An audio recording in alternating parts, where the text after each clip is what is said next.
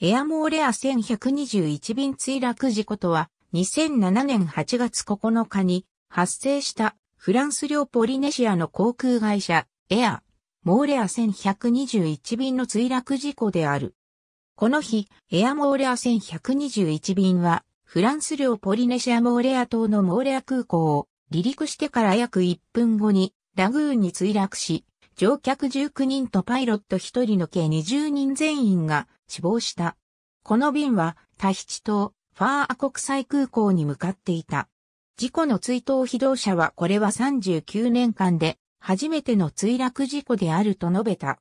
事故原因はファーア空港の構造的要因による昇降打操作のためのワイヤの破断と考えられている。ナショナルジオグラフィック社 Air Crash Investigation New Episodes Air Moorea Flight Terror in Paradise Mayday 2014 New Series にて事故原因を以下のように推定している。エアモーレアの機体は、ファーア国際空港で夜間駐機をしていた。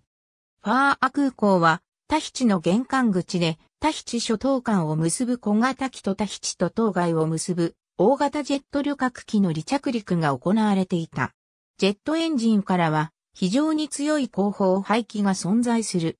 大型機と小型機が混在する空港では、ジェットエンジンの後方排気が小型機に影響を及ぼさないような構造を取るのが通常である。しかし、ファーア空港のレイアウトでは、エアモーレアの中期場が大型機の誘導路脇にあり、大型機の運用を容易にするため、ジェットエンジン後方排気から小型機を守るための防護壁が撤去されていたため、大型機のジェットエンジンの後方排気が中期中の小型機を直撃するようなレイアウトになっていた。エアモーレアでは中期中は昇降打を機種下げ位置に固定した状態で中期するのが常であった。さらに当該機では、コントロールワイヤを円外には、C が摩耗への耐久度は、低いステンレスに変えていた。このため、ジェットエンジンの後方排気により、中期中の小型機の昇降打に設計上の想定値を超える外力が頻繁に加わることとなり、昇降打操作のためのワイヤの破断が進行した。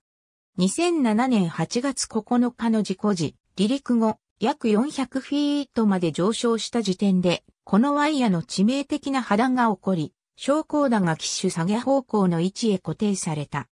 昇降だが機種下げ方向で固定された結果、水平尾翼に上向き揚力が生じ、機種下げ姿勢のまま墜落した。ありがとうございます。